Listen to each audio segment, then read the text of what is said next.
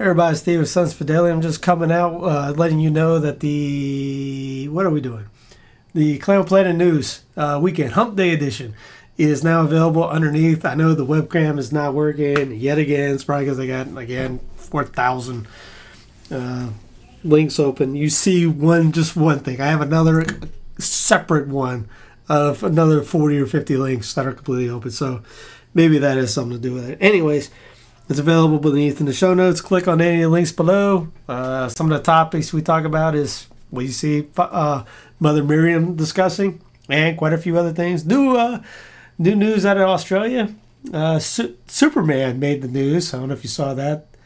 Military, uh, the Archbishop for them came out backing the troops. Uh, good for him. And yeah, oh yeah, and the end of money. Bye. Have a great one. Talk to you later. Bye.